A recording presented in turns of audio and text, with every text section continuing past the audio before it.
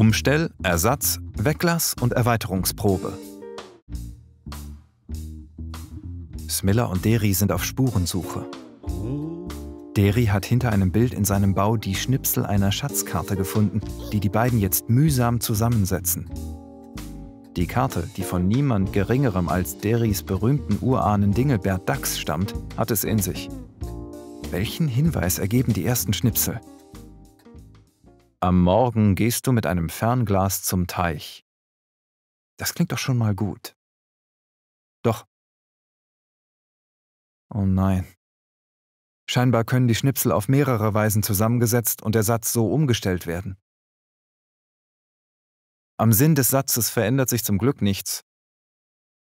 Smiller und Deri haben, ohne es zu wissen, die Umstellprobe angewandt, die manchmal auch Verschiebeprobe genannt wird. Sie ermöglicht es dir zu erkennen, welche Wörter oder Wortgruppen die Satzglieder eines Satzes bilden.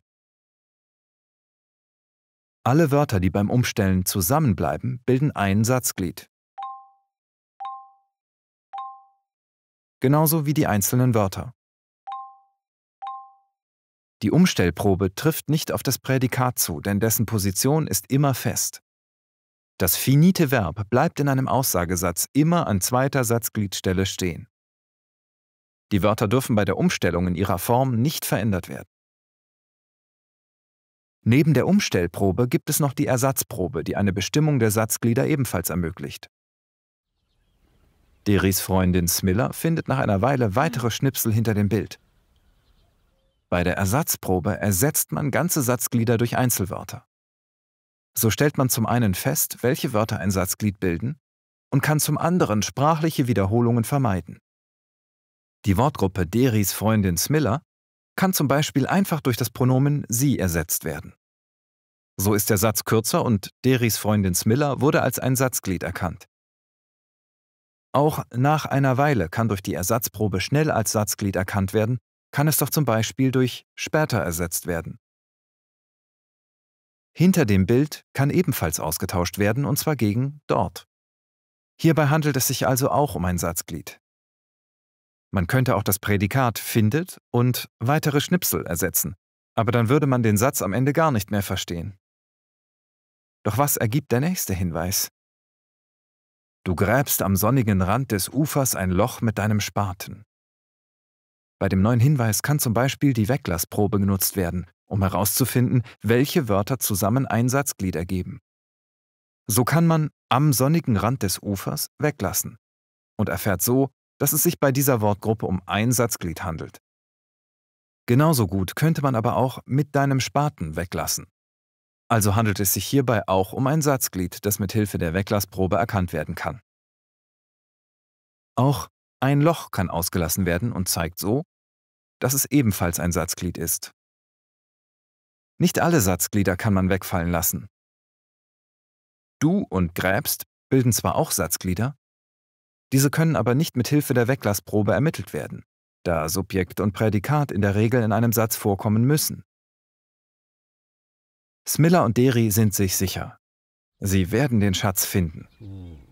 Smiller und Deri gehen auf Schatzsuche. Neben den bereits erwähnten Proben gibt es noch die Erweiterungsprobe. Sie hilft dir weniger dabei, Satzglieder zu erkennen, sondern eher den Informationsgehalt eines Satzes zu erweitern. Momentan enthält dieser Satz eher wenige Informationen. Wenn man aber zum Beispiel mit am Morgen eine adverbiale Bestimmung ergänzt, dann gibt der Satz schon mehr Preis und enthält ein Satzglied mehr. Wenn man den Morgen genauer beschreiben möchte, könnte man noch frühen davor setzen. Die adverbiale Bestimmung wird hier also durch ein Attribut erweitert. Smiller und Deri haben Spaß. Manchmal kann man Sätze auch durch Objekte erweitern und so mehr Informationen vermitteln. Smiller und Deri haben bei der Schatzsuche Spaß.